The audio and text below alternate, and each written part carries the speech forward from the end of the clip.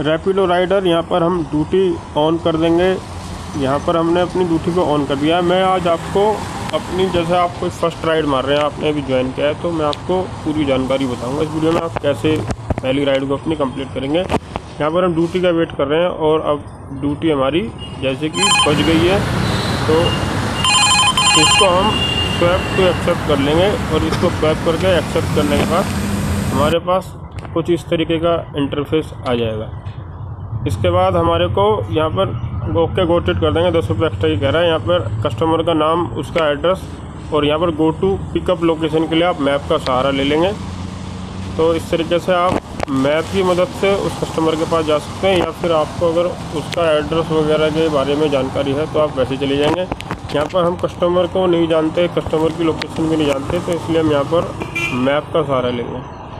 तो ये मैप से जब हम उस जगह पर पहुँच जाएँगे तो ये हमारे को अराइवल लोकेशन का एक ऑप्शन आता है। मेरी जो ऐप है, ये फ़िलहाल अपडेट नहीं है, जिस वजह से ये नहीं आया। तो बड़ा सिंपल ही सा एक आएगा आपके पास अराइवल लोकेशन उस पर क्लिक करने के बाद आप कस्टमर को कॉल कर लेंगे या मैसेज करके आप उसको हेलमेट देंगे और उसके बाद आपको अपनी राइड स्टार्ट करनी है।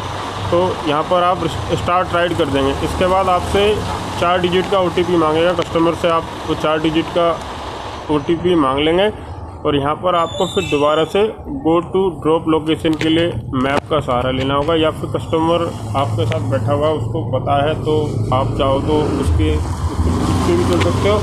या फिर कई बार ऐसा होता है कि कोई नया कस्टमर उस जगह पर नया आया हुआ होता है, उसको नई लोकेशन पता होती तो आप ऐसे मैप का सहारा ले लेंगे। मैप से आप जब उस जगह पर पहुँच जाएँगे तो उसके बाद आपसे मैप रेटिंग मांगेगा।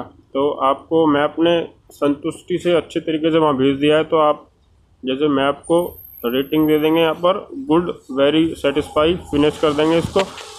इसके बाद आप बैक अपने ऐप में आ जाएँगे, यहाँ पर नो थैंक्स कर देंगे मैप को और यहाँ पर स्वैप कर देंगे आप राइड कंप्लीट को। इसके बाद आपके सामने कुछ इस प्रकार से जो चार्ज उसका हुआ है, वो आपके सामने आ जाएगा। तो यहाँ पर हमारे कस्टमर का छियालीस रुपये चार्ज हुआ है।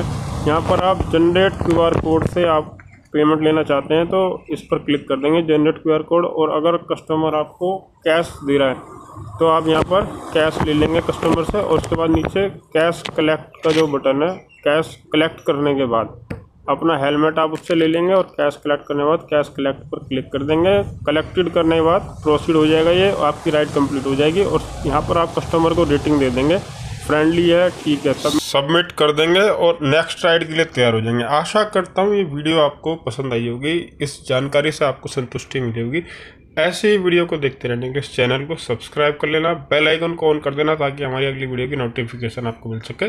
धन्यवाद।